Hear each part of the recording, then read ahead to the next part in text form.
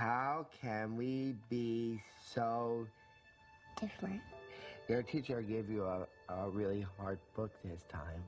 What's wrong with your father? Why is he acting like a retard? He is. You're not like other daddies. I'm sorry. Daddy, I'm lucky. Nobody else's daddy ever comes to the park. No one doubts that you love your daughter. These shoes light up.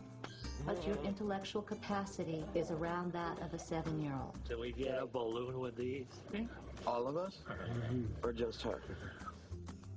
Our concern is what happens when Lucy turns eight. I find it is not in the best interest of the child to remain in the home, and I order her detained. Why isn't Lucy going home with me?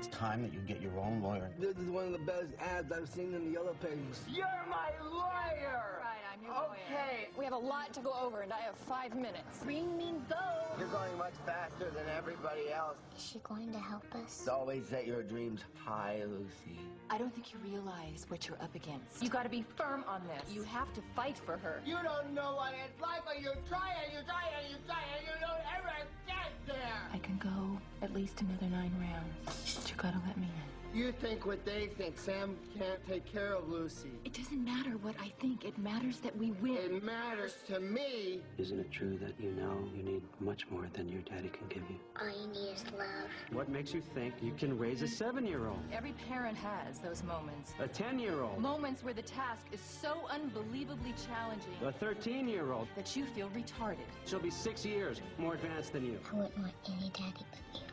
Did you hear that?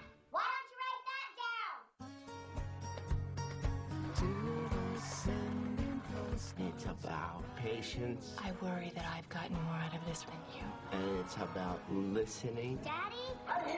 and it's about love. I am Sam. You're recording. Hi, this is Sam! It, it's an outgoing message, so I think you need to sound a little more outgoing.